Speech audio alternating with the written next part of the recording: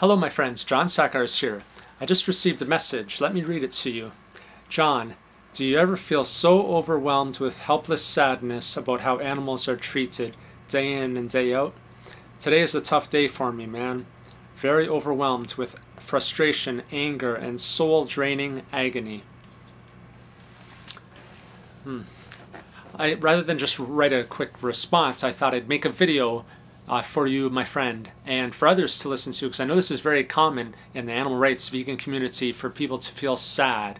So let me talk to you a little bit about how I deal with sadness, because I love the vegan community. I love all my vegan friends, and I I feel bad that you're feeling sad. So I want to try and make you help help you feel better. First of all, we're humans, and you know. Part of being human is feeling a variety of different emotions, and sometimes you need to feel the lows to feel the highs. And so that comes with the territory of being human and with being a, a, compassionate person, with feeling empathy. So be grateful that you feel empathy and that you're feeling some pain. If it was, if animal cruelty didn't bother you at all, then that'd be something to be concerned about. So, you know, it's perfectly natural and healthy for you to feel sad about it. Realize that you're not alone so that can help you to feel that you're in good company. There are millions of people all around the world who are feeling your pain. You know, I'm feeling your pain. I know about all the cruelty going on. And so I feel sad about that as well. So you're not alone. And realize you can use the sadness and the anger to do good things in the world. You can channel that into uh, activism it can fuel you. You can go out and do things to. You're not. You're not. Uh, it's not a helpless situation. You can help. We need you to help. You can go hand out leaflets, take part in a demonstration. Oh, for leaflets, you can order them from veganoutreach.org. That's one group. They can send them to you.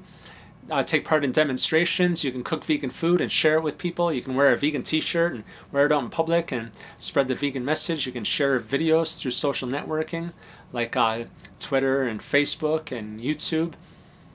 And so there's lots of activism you can do all the time. You can even just write a, a status update on Facebook and talk about how you're feeling and, and you know, uh, send me a message and, uh, you know, talk to people about this. And I know sometimes with family it can be hard. I, I, in my family, I'm the only one who's vegan. Everyone in my family eats animals. So sometimes talking to my family, uh, it doesn't work so well. So that's what is really great about the internet is uh, you can communicate with like-minded people. And so the vegans are your family. You know, know that you have a worldwide vegan family who is always with you. And uh, so even if your own family thinks you're nuts, then the vegan family, we don't think you're nuts. So talk to people in your vegan family and I something that helps with me is being creative. I like to be creative. I like to make videos. That's something to consider. If you can get a, a webcam or a cheap camera, and then you just use Windows Movie Maker. It's really simple to make videos. Like I'm making one right now. Or you could do artwork. You know, uh, or write.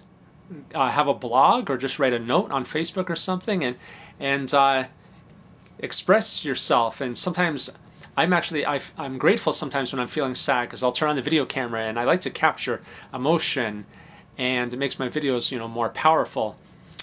So I think I said all I had to say. Hope that helps you out a little bit, and also realize that uh, you know every don't feel that you have to watch all these awful videos. You know sometimes it's good to watch them because it can give you you know you know about need to know about the cruelty that's going on and uh, it can motivate you to get out there and do activism but some people watch too many of these videos and it can be depressing. So i don't watch every video that someone posts on my wall. You know it, would be too much. I, I, there's sometimes people will post something and i just don't i don't want to watch it. You know we, we uh, don't want to drive ourselves crazy because we really feel things uh, we vegan superheroes we feel things and uh, sometimes we can see something and it can stay with us haunt us forever. And so uh, take care of yourself. You know, we need you for the long haul. And uh, you know, you have to protect yourself and not look at too many awful things. And one thing that would cheer you up too is I believe that we're going to have a vegan world very quickly. I think veganism is growing exponentially. Just think, uh, let's say 1% of the population is vegan right now, and if every vegan gets one person to go vegan every year, then the vegan community will double every year. And so there'll be exponential growth. So 1%, 2%, 4%, 8%, 16%, 32%, 64%, and then 100% vegan. And so we could have a vegan world in eight years. And so realize that this is uh, this is a very very dark time that we're going through. That we're really in the dark ages here on planet Earth. But things are going to get better. Things are getting better. I'm hearing of new people going vegan all the time. So don't worry, everything's going to be okay. And and so uh, I love you. I love everybody in the vegan community. And take care of yourself. And uh, thank you for everything you do to help animals.